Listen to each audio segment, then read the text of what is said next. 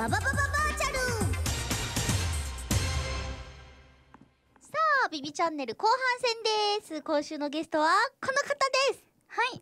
かすかべつくしですわ。ママ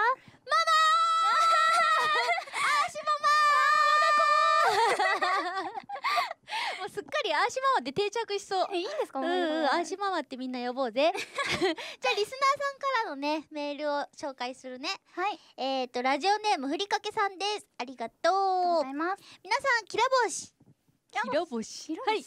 えービビちゃんの 3D モデルを制作された春日部つくしさんにお話が聞ける機会ができて嬉しいです。早速質問なのですが、ビビちゃんの 3D モデルを作った時こだわったポイントや大変だったエピソードはありますか？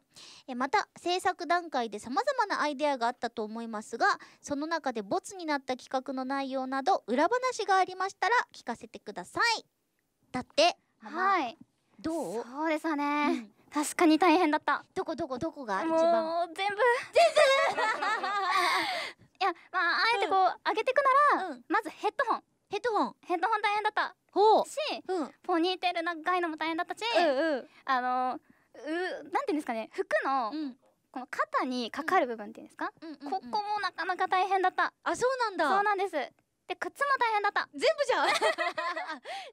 そうですよ。えー。全部大変でした。えなんかそのどあもうモデリングの知識がなさすぎてわかんないんだけどヘッドホンってそのなんか頭頭と同じじゃないの？なんかなどどう大変なの？そうですよね。あの、うん。ゆみさんのうん。ヘッドホンで言えば、うん。こうあの、頭の形が結構特徴的な形をしているので、うんうん。ヘッドホンってこう、普通だったうん。ら半円うん。なんですけれど、それだと収まらないかった。のでちょっと微調整変形変形しつつ、うんうん。でもなんか変に歪んで見えないようにってやってるのが結構大変でしたね。そっか。えこれってこのいろんな角度あるじゃん？ええ。いろんな角度ごとになんか書いてったり設定とかしなきゃいけないもの？そういうものではないの？そうですね。テクスチャって言って、うん。あの形ができた後に、うん。そこに柄とか、うん。まあ、あとハイライトちょっとピカッとしてるとか影の色とかそういうのを描いていく作業があるんですよ。ええそう。それもうん確かにパーツが多かったので、んうんその分大変ではありましたね。これどれぐらいの時間かかんの？ママ多分1ヶ月半か2えそんなヶ月ぐかからっていんの？です。僕を生み出すのに？そうなんです。もう春日部には足を向けて寝らんないぜ。あ、言いましたわね。チェックしますわよ。えこの髪の毛はどれぐらいかかったの？髪の毛は、うんうん。そのあの揺れるために、骨をね、うん。入れる作業が結構大変でした。これ骨入ってんの？入そうなんですよ。ってたの？僕の髪には。猫の尻尾みたいだね。そうなんですわよ。骨がね、多う分、んうん。7本か8本ぐらい入ってるとそ。んないっぱい骨入ってたんだ。へえすごい。そう。でもそれによって、こう、ふわふわっと入れるようにね、なったりとか。へええー。これつかめないの？さすがに？つかめはしない今のは難しいかもしれない。この触覚とかも大変だった？触覚もね、そうですわね。でも可愛くできるように、うん。ビュッとこだわってはやりましたわね。かわい。い骨入ってますわよ、それに。アホ毛には骨がある？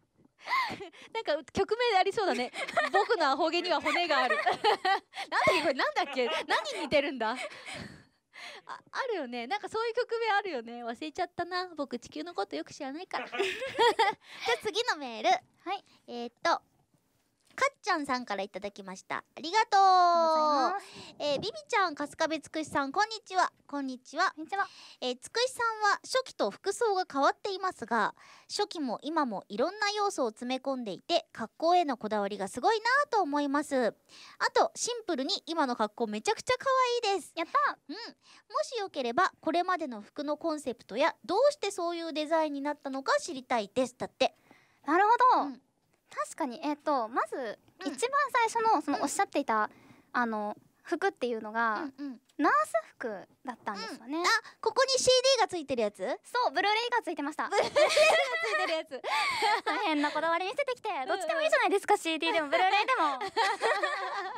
あれナースだったんだね。そう。うんうんナースですけど、ここにブルーレイつけてんのは、あの、歯医者さんとかのね、お医者さんがつけてる、あそうかれそうか。口の中見るためのやつかそうは。そうそうそう。とかだったり、まあ、結構あの、適当な医者医療系ふわーっとね、うんうん。形をしてたんですけれど、うんうん。いやーこれねなんでなんでしょうね、うん。私もうん。自分で考えててこう、うん。一番顔似合ってる服を考えてたらあれになっちゃっただけなんですよね。似合ってたかな？似合ってなかったですか？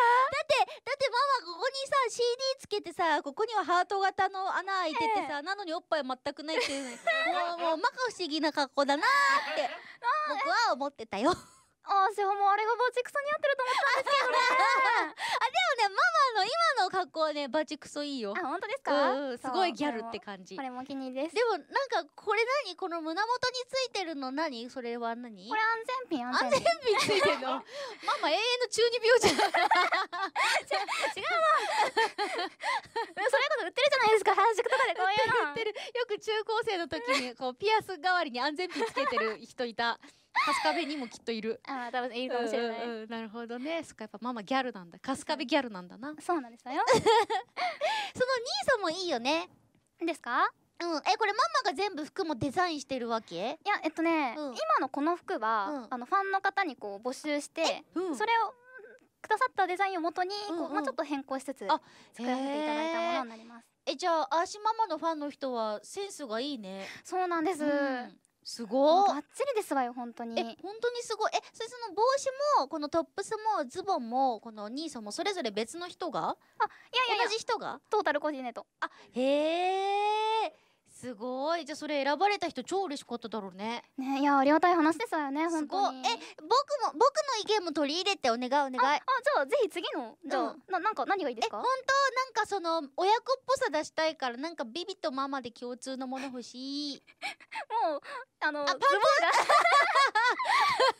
が 確かに。確かに。でもそのズボンほんと可愛いよね。そうですわね、うん。そう可愛い。ゆいさんを作ってる時に 可愛いなと思って自分の方にほんと可愛い。もつけちゃそうの裏地がピンクで見えるのもいいし、ええ。僕はねそう黒黒だからさそうですよすごいねな。これなんかそのここが広がってることによって太もも細く見えるもんね。確かに。うん。細見え効果がね。それめちゃめちゃ大事。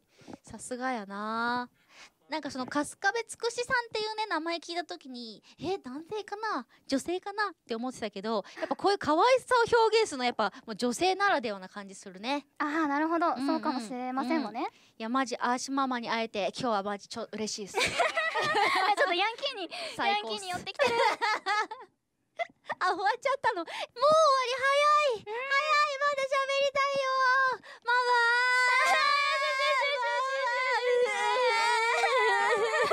閉まって泣いちゃったあーでもママはね来週も来てくれるから。はい、みんな待っててください。ということで以上きらぼしビビと春日部つくしでした。次回もこのチャンネルに集合。せーのキラボス